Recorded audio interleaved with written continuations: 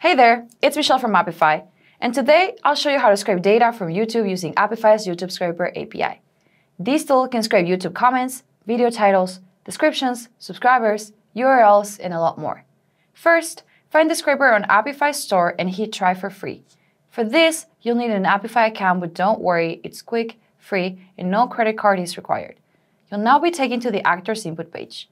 You can choose to either set up the input via our intuitive UI or via JSON. We're going to go with a regular input schema.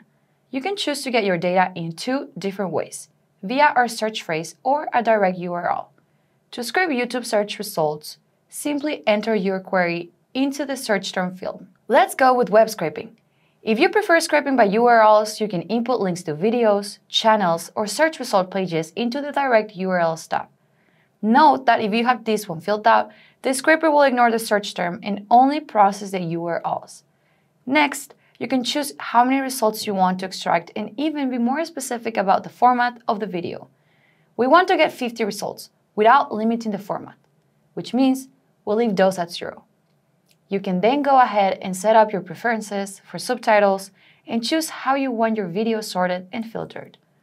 For our demo run, we'll leave these as default. Before running, we recommend saving your setup and creating a task. This will come in handy for scheduling your actors, integrating with other tools, and managing multiple configurations. With our input ready, click Start to kick off the scraper.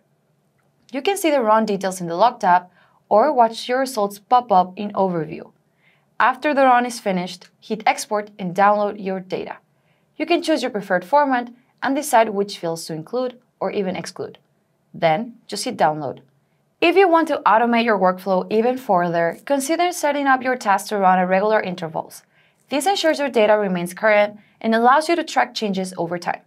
Simply choose your task in Apify console and hit Schedule. From there, you can specify the frequency at which you'd like Apify to execute the task for you.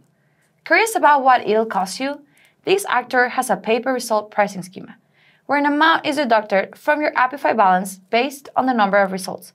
But don't forget, Apify gives you $5 in free credits every month, which means you can collect a significant amount of data at no cost. If you want to learn more, watch our pricing video. That's all for now. We'd love to hear your feedback on YouTube Scraper. Remember, if you encounter any problems, please don't hesitate to report them to our development team through the Issues tab in Apify console. If you like this video, please leave a thumbs up, subscribe, and hit that bell to stay notified about future content. So long, and thanks for all the likes.